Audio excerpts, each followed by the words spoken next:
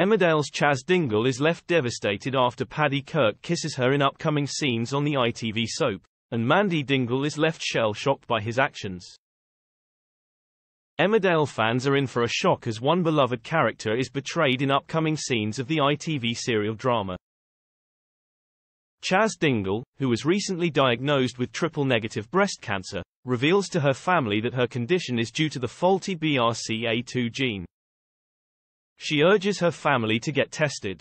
However, her son Aaron Dingle is concerned that his mother isn't facing the reality of her operation as she only plans to take two weeks off work. In an emotional scene, Chas opens up to her ex-husband Paddy Kirk about her fears surrounding her operation.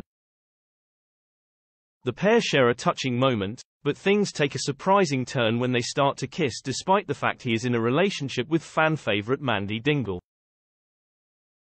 Paddy quickly realizes H has made a mistake and his reaction leaves Chas feeling hurt as she clearly has feelings for him. The situation worsens when Mandy is left shocked after Paddy confesses that he kissed Chas. Mandy's quiet reaction leaves Paddy feeling uneasy, according to soap spoilers.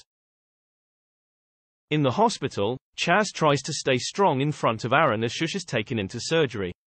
But when Chas is alone, her courage fades and her fear shows in heart-wrenching scenes. Meanwhile, Aaron and Cain Dingle are on edge as they wait for news about Chas, secretly glad for each other's company.